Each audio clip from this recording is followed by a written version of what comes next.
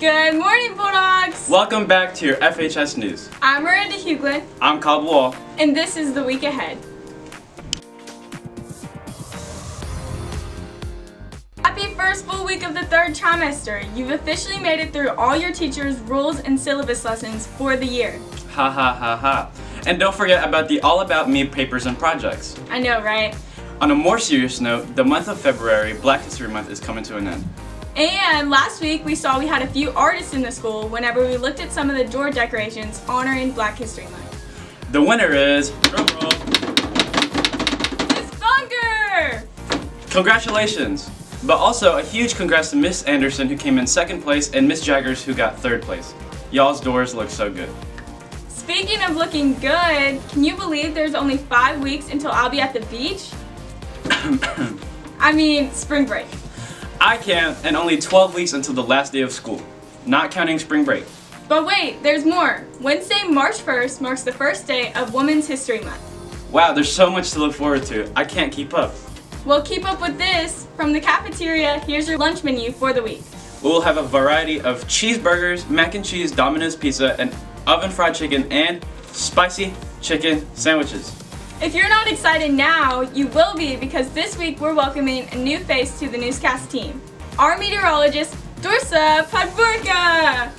Hello everyone, my name is Duarsa and I will be giving you your weekly weather updates. Last week the weather went from the 70s to the 30s within a day, but luckily this week we have a little bit more consistency. Starting off, make sure you bring your hoodies as we expect it to rain cats and dogs today, Thursday, and Friday. Then temperatures will cool down a little bit, ranging from the 50s to the 60s. That's your weather for the week ahead. This is Duarsa, out. Yep, it's official. We have the best meteorologists around. I agree. Now to Aubrey and a special new guest with sports. Thank you, Miranda. What's up, Fairdale? It's Aubrey. Today we have a special guest for our sports segment. Introducing Jake DuBois. I'm glad to be here. Let's start with the announcements. Last Saturday, the archery team competed in a tournament at Bullitt East. Congratulations to all the members who scored their season high. Last Tuesday, our boys basketball team took home a win defeating the Cougars from Holy Cross in the first round of districts. The boys keep going in postseason play this week. Check social media for more in information on times, dates, and student section themes. Coming up soon, spring sports announcements will be here, so be on the lookout for those. That's it for this week's sports segment.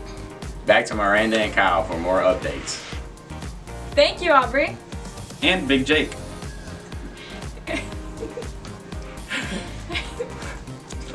Hey Kyle, didn't you mention the start of the new trimester? Yep, and since it is the new trimester, make sure to stay on top of your grades and new assignments. This is a fresh start not to get behind, so you will be eligible for all fun things that happen towards the end of the year. Speaking of fun, juniors and seniors, prom tickets are on sale now. $60 for a single or $100 for a couple until April 18th in the front office. You can pay in full or put a $20 deposit down by March 17th. Attention juniors, the junior ring ceremony will be held on May 4th at 6.30 p.m. in the small gym. Make sure your nails are done and hands are prepped for all the close-ups of your new bling. Did you say close-ups? Because you can upload any school-appropriate picture of you or your friends to our school website by scanning this QR code. We'll put them on display and share them on here too. Here's more of what we've been shared so far. First, here's two senior stars from a wrestling team, Jude Powell and Sam Bertine. Next, here's some students and me and our favorite decade on Throwback Thursday this past Spirit Week. Y'all ate that up. to finish out the newscast, this week's quote comes from Lao Tzu. In honor of the new trimester, it reads, A single journey of a thousand miles begins with a single step. Have a great rest of your week, boys. Have a great rest of your week, boys. Thanks for watching. Thanks for watching. Have a great rest of Have your a week, great Bulldogs. No, cut.